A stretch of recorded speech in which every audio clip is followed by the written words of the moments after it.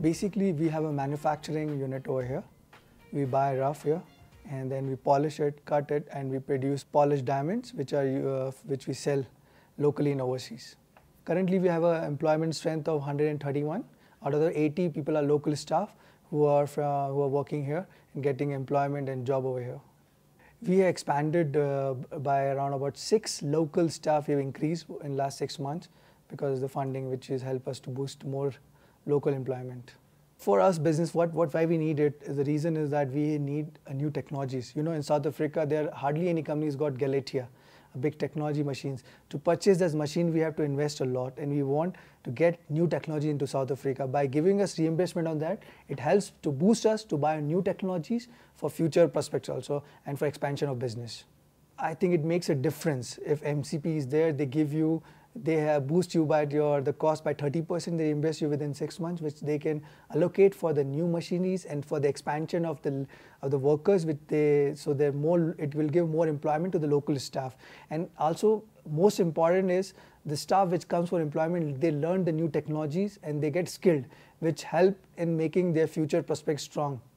The IDC and DT are really making a difference in the sense of for example, I'm buying a new technology, so they are helping to uh, give as a as an investment like 30% from the government grants which can, which can which help us to buy the new updated technology which is the key for any of the economy to develop or any of the industry to grow faster rate and for more uh, employment.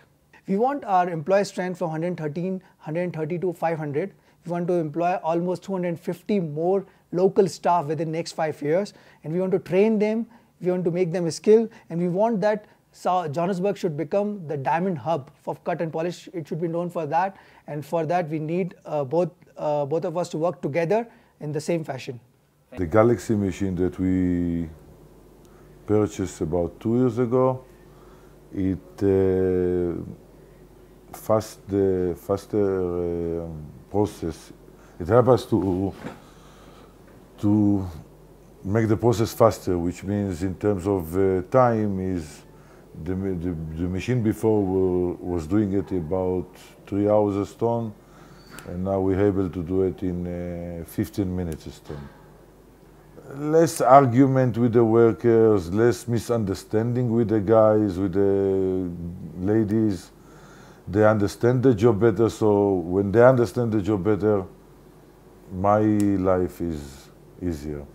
Okay, working in this industry is great because like uh, at first I didn't know anything about diamond polishing, but now I know a lot, uh, colors of the stone, that it's not just only about the polishing, but the clarity, the wax, the cuts, everything about the stone. Since I've been working here, I've been trained a lot and I've acquired uh, great skills. Uh, my, my life is improved from me and my family because I've got, I uh, can do a lot of things from uh, since now, since I'm working here. Hey, there's a lot of change. Eh? I feel good and comfort and I've got a lot of things to do with. Since I'm here, I'm, my life has changed, it's good.